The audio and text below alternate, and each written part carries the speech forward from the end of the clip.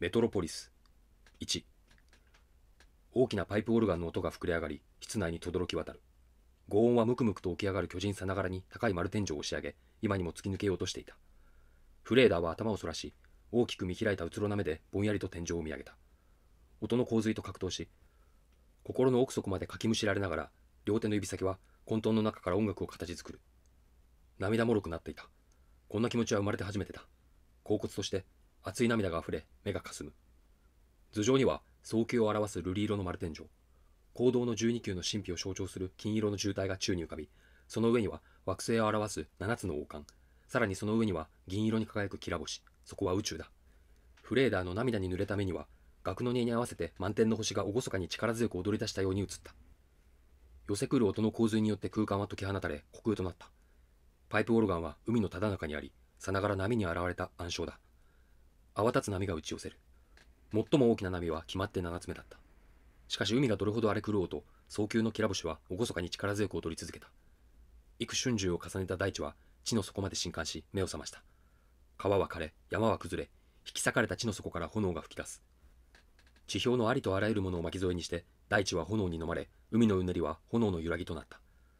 パイプオルガンの奏でる楽の音は燃え盛る松明だ。大地海。そして炎の惨歌を響かすパイプオルガンが熾烈な音とともに崩れ去り怪人に帰した。しかし万物が焼き尽くされ砂漠と化した無の世界の遥か高みではなお早急のきら星が粛々と舞っている。その時見目麗しき珠玉の鳥がただ一羽灰を払って起き上がり嘆きの声を発した。これほどにやるせなくさえずる鳥が未だかつて地上にいた試しがあるだろうか。破壊され灰と化した大地から舞い上がっても鳥には行くあてがなかった。海の墓場大地のカバネ罪深き天使が地獄に落ちてからこの方これほど絶望に満ちた叫びが天空に響いたことはなかった。その時星が一つ踊りの和歌から離れ屍となった大地に近づいた。その星の光は月明かりよりもたおやかで日の光よりも絶大だった。その星は天界の音楽の中でもひときわ麗しい音色だ。星は嘆き悲しむ鳥を慈しみの光で包み込んだ。光は神のごとく強く鳥に呼びかける。我が元へ来たれ我が元へ。珠玉の鳥は墓場と化した海と大地を後にしてその呼びかけを頼りに最後の力を振り絞り翼を打ち振った。光のゆりかごに揺られながら鳥は舞い上がりさえずり天界の音の一つとなって永遠に姿を消した。フレーダーは鍵盤から指を滑らすと神戸を垂れ両手で顔を覆った。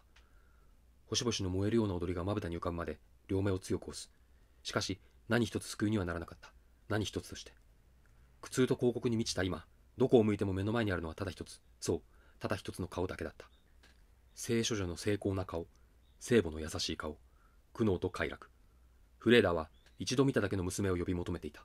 名も知らずただ君と呼ぶしかない拷問に心は引き裂かれそうだった。フレーダーは両手を下げ丸天井を見上げた。海と見まごう紺碧の早急一点のシミもない金色の天球。フレーダーを包む神秘の薄闇。その向こうで荘厳なまでの純潔さをたたえた娘がフレーダーを見つめていた。娘はかしずくメイドにして従えるドミナ。触れることもはばかれるのに優しさにあふれている。美しい額には善意の飾り飾りをつけその声は好ましくその言葉は歌のようだ。それから娘は背を向け姿を消した。それっきりどこを探しても見つからない。娘の姿はどこにもなかった。君フレーダは叫んだ。閉じ込められた声は虚しく壁に跳ね返され出口を求めてさまよった。孤独に耐えられなくなったフレーダは立ち上がって両開きのドアを押し開けた。工房は高々と照らされていた。フレーダはまぶたを閉じ息を詰めてその場に立ち尽くした。命令を待つ使用人たちの気配がする。そのうちの一人いつも実直な顔をしている痩せた男に頼めばきっとあの娘を探し出してくるだろう。娘があの物静かな足取りでこの地上を歩いてさえいれば。しかし聖なる白鹿を猟犬に負わせるものではない。そんなことをすればその身は呪われ生涯惨めな人間になれ果てるだろう。フレーダーは見ないでも痩せた男の視線が自分に注がれているのが分かった。父が雇ったこの静かな男は全てを任された保護者であると同時に監視役だ。眠れぬ夜工房での作業神を求めるパイプオルガンの演奏。フレーダーが熱に浮かされるたび男は脈を測る。特に報告するわけではない。そもそもそういう命令は受けていなかった。それでもいざという時のため完璧な日誌をつけているのだ。苦悩するフレーダーの重い足取りを分刻みで数え憧れに飢えた両手に額をうずめる回数まで記録している。万事に通じているこの男が彼女のことを知らないわけがない。息子たちのクラブに出かけたあの日以来取り乱してしまったフレーダこの男が果たしてその理由を知っているかどうか。だが知らない素振りさえしないところがこの男の謎深いところだ。息子たちのクラブに入る資格はなくてもふんだんに金が使える父の代理人のことだ。クラブの規則をなし崩しにすることぐらい朝飯前だろう。フレーダーは身ぐるみ剥がされ晒し者になった気がしていた。何一つ隠し事を許さない残酷な光が彼をそしてメトロポリスの最も高いところにある工房を隅々まで照らし出している。一人にしてくれ。フレーダーは小声で言った。使用人たちは静かに退出し痩せた男も出て行った。だが音もなく閉じるドアはいつまた音もなくこっそり開けられるかわからない。刺すような目の痛みに耐えながらフレーダーは手探りでドアに触れた。唇を歪めて苦笑いした。王冠の宝玉さながらに監視のついた貴重品。偉大な父の息子。しかも一人息子。だが本当に一人なのだろうか。フレーダーの思考は堂々巡りし再びあの時見たこと体験したことが脳裏によみがえる。息子たちのクラブはメトロポリスの中でもひときわ美しい施設に数えられる。それも当然だ。機械の歯車が回転するたび儲けを増やす父たちが息子に送ったものだからだ。クラブは家というよりも一区外を占めるほどの規模がある。劇場あり映画館あり音楽堂あり。五大陸で発行されたあらゆる本を収めた図書館あり。おまけに競馬場や競技場や有名な永遠の花園まであった。また息子たちにあてがわれた広大な住まいもあれば召使いたちの宿舎もあり火の打ちどころのない男の召使いたちも美しく品のいい女たちも蘭の育成よりはるかに手をかけてしつけてあった。彼女たちは常に明るく朗らかであることが求められている。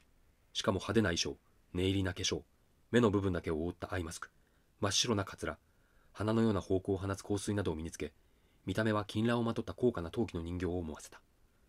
フレーダはクラブにあまり顔を出さなかった。工房にこもったり星の礼拝堂でパイプオルガンを弾いたりしている方が性に合っていたのだ。しかしひとたび気が向いて競技に参加すれば人一倍陽気にはしゃぎ顔をほころばせ次々と勝利をさらう。あの日もそうだった。勝利によった筋肉を冷たいシャワーで冷ますとフレーダーは引き締まった体を横たえ大きく息を漏らし微笑みを浮かべてくつろいだ。永遠の花園を覆う乳白色のガラス屋根はオパールのごとく輝きフレーダーは降り注ぐ光を全身に浴びた。華奢な女たちが周りに貸し付き自分の籠を差し出し果物を取ってもらおうと競い合っていた。一人は傍らでフレーダーのためにカクテルをこしらえていた。腰から膝まで金蘭の布をまとい細い足を上品に揃え先の尖った黄色の靴を履いた立ち姿は象牙細工のようだ。そしてフレーダーの荒い息遣いに合わせて白い上半身を知らず知らずのうちにリズミカルに揺らしながら自分の手元をじっと見つめている。唇は紅を刺してもいないのにザクロのごとく赤かった。女は微笑みながらただ一心不乱にカクテルをこしらえている。その様子を見て周りの女たちがクスクス笑い出すほどだった。フレーダーもつられて笑うと女たちが一斉に吹き出した。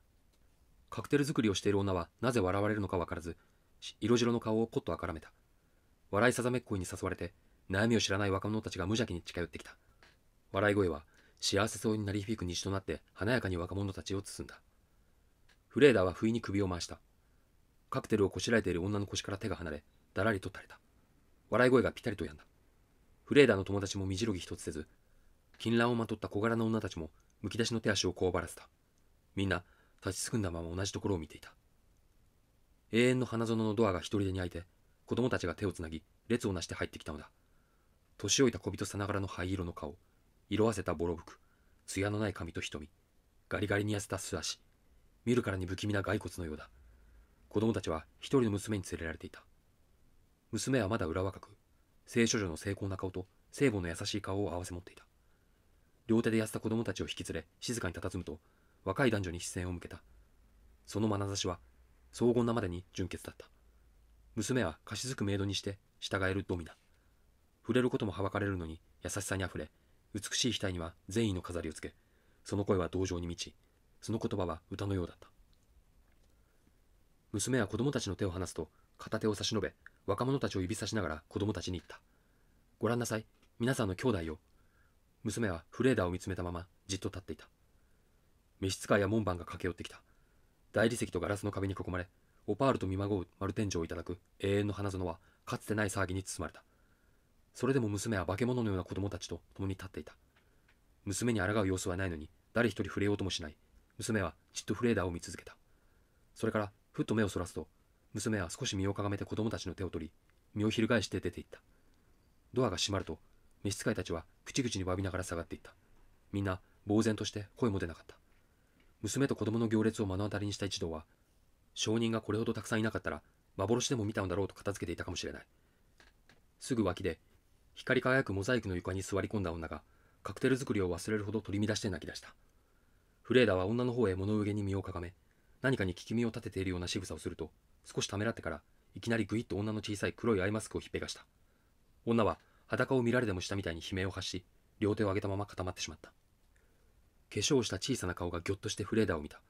マスクを剥がされてしまうと女の目は間が抜けていて中身がなく嘘のように顔から正気が消えていた。フレーダーが黒い布製のマスクを落とすと女は慌ててそれを掴んで顔につけた。フレーダーは背を向けた。永遠の花園は光り輝いていた。さっきの騒ぎが嘘のように。美しい人々はいつものごとくかけねなしに人生に満ち足れた様子で輝いていた。辺りに漂うすがすがしい香りは朝霧に濡れた花園の吐息のようだった。